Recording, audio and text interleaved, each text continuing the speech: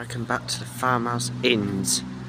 That uh, Wings Field Farm here.